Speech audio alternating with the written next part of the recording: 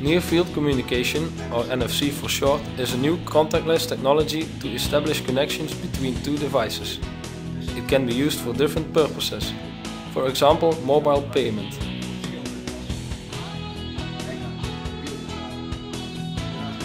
On the other hand, can be thought of an access card. Instead of a physical card that is put into a machine, it can be done contactless using the telephone.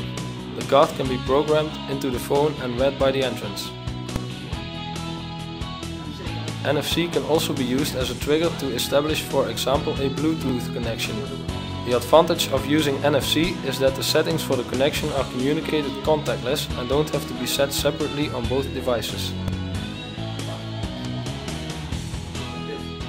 To hold this area of the phone in front of an object, for example a tag of another telephone, a contactless connection is established.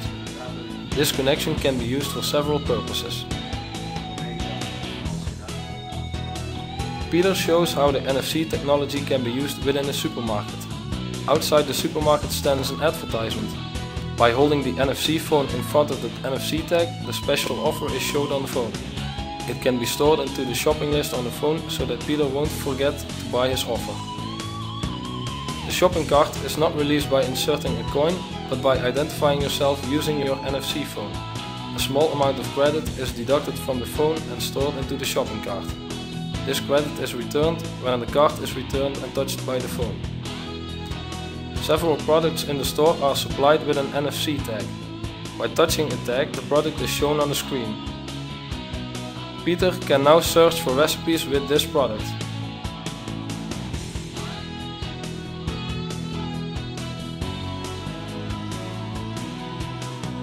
He selects a recipe and fills in for how many persons he wants to make this recipe. Furthermore, he can select which ingredients he doesn't want to buy. The products are saved in the shopping list.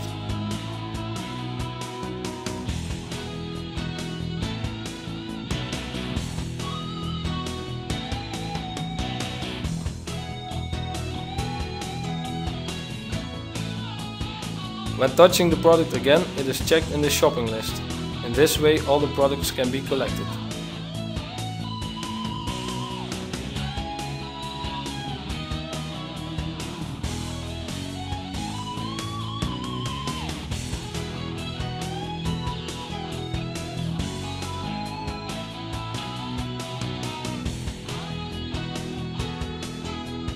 In the supermarket there are several advertisements with recipes that are supplied with an NFC tag.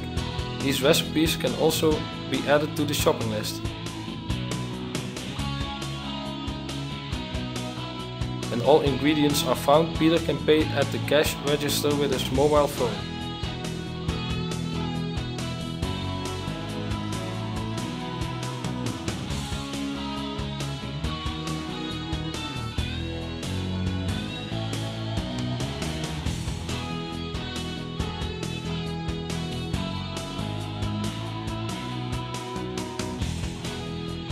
Before Peter leaves, he has to return his empty bottles.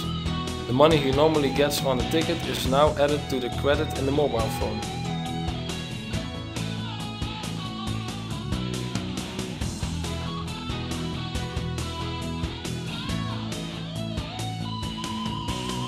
At the cash register, the mobile phone is held to a reader connected to the cash register.